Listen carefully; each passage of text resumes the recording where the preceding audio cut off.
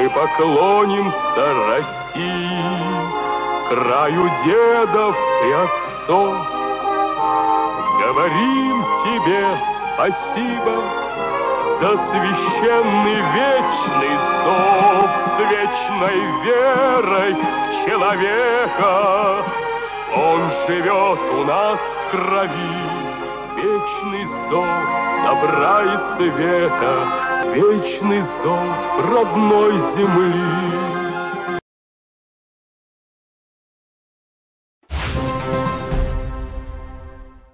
Лауреатам премии губернатора «Наше Подмосковье» вручили дипломы. В этом году победителями из Мытищинского района стали 57 человек. Торжественная церемония награждения состоялась в администрации района. Среди победителей – сотрудники телеканала «Первый Мытищинский». Иван Чуйков – правнук маршала Василия Ивановича Чуйкова. Но не только родством с советским военачальником может гордиться этот юный мытищенец. Он, пожалуй, самый молодой лауреат губернаторской премии «Наше Подмосковье». Мой проект – это парк героев. То бишь, я живу и прописан в поселке Воинской Славы. То бишь, после Второй мировой войны у нас э, более 120 офицеров жило в поселке и более четырех маршалов даже. Вот. Именно поэтому, ну и как бы я очень горжусь этим. В 2015-м победителями конкурса социально значимых проектов «Наше Подмосковье» стали 57 мытищенцев. Они, обладатели второй и третьей премий, накануне принимали поздравления в конференц-зале администрации Мытищинского района. Я благодарю вас э, за эту активность, за это неравнодушие, за неравнодушие нашему Мытищинскому району и в преддверии большого праздника Нового года вручить э, грамоты и дипломы, которые подтверждают то, что вы действительно активный гражданин Магического района. На самом деле активных граждан в нашем районе гораздо больше. В этом году около 500 мытищенцев боролись за звание лауреата губернаторской премии «Наше Подмосковье». Очень приятно, что не только на уровне района нас ценят, но и на уровне области отмечают. Это, конечно, всегда приятно. Для многих награда была нежданной, ведь когда они начинали проект, о дивидендах не думали. Например, 82-летний Альберт Михайлович, подбивая друзей и подруг заниматься скандинавской ходьбой, скорее планировал поправить здоровье, а оказалось, сумел вдохновить пригласить ветеранов на активное долголетие. Более 20 человек занимались в парке в нашем. Руководитель приезжал, он с ним занимался.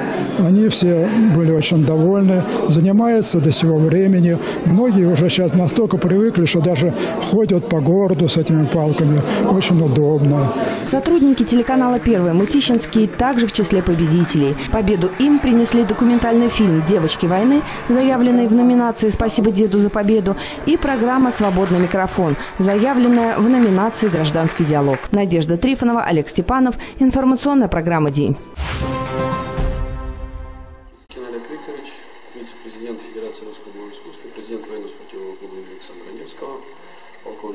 Ветеран боевых действий. Представляю номинацию «Лучи завицы России. Оттенок Москвы». Наш проект э, показывает всю работу, которую мы совершали с 1995 года. Очень позитивно, что руководство Московской области заметило наши скромные старания в деле патриотического воспитания молодежи и развития русского боевого искусства и отметила нашу, нашу работу вот этой премии.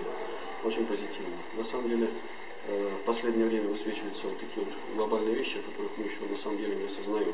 Меня так привело в свое время, жизнь привела о том, что можно организовать клуб имени именно Александра Немского, цепь э, истечения обстоятельств каких-то, да, сейчас у нас, э, оказывается, появляется какая информация о том, что, допустим, первое, и глобальное, ну, наверное, кто из вас тоже все представляли, видели, победа на Олимпиаде, 33 медали, то есть явный знак Божий о том, что 33 золотых медали, я имею в виду, явный знак Божий о том, что Господь с нами. Вот. Э, то же самое, э, когда организовал клуб имени Александра Невского, высветилось э, соединение вот этого духовного и физического бытия и плана. В каком плане? Потому что, оказывается, контрнаступление советских войск под Москвой началось в декабре, именно э, годовщину очередную чествования Александра Невского.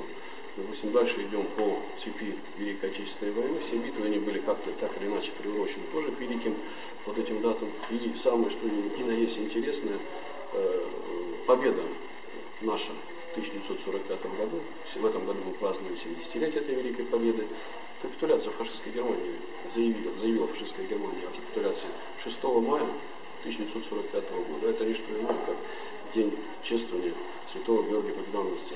Великие вещи происходят, поэтому мы стараемся вот это все отслеживать, развивать и притворять жизнь, доносить до наших детей, до нашего подрастающего поколения. И слава Богу, за все я служу России.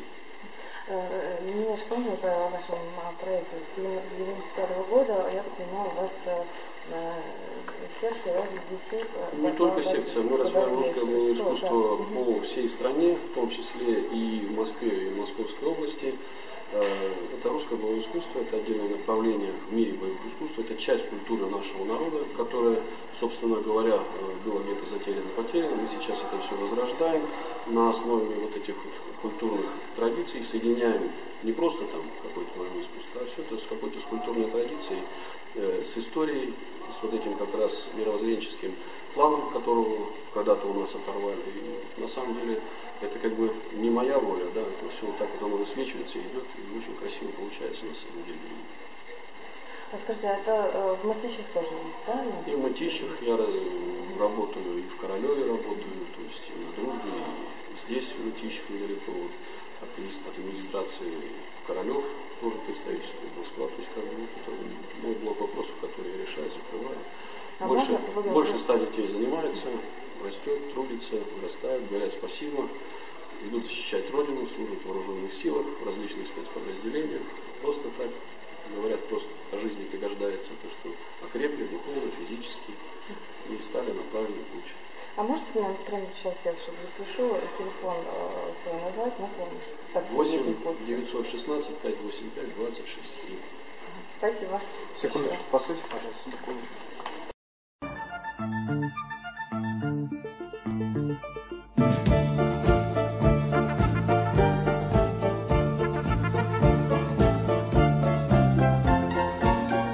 прочь гони соблазны, усвой закон негласный.